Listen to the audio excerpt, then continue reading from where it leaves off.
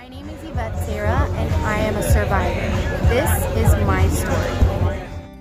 On August 17, 2018, I suffered a subarachnoid hemorrhage, which is a bleeding stroke in the brain.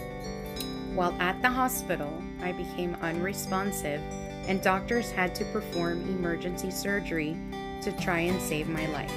With God's help, they were successful. I spent two weeks in intensive care in the care of the best doctors ever. Then I was released to go home and start my recovery.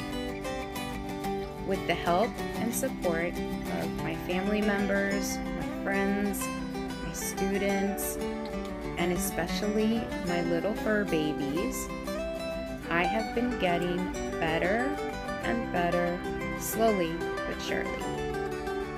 Although my life has changed dramatically, with God's help, every day I get a little stronger and am working hard to make the most of the life I was blessed and given.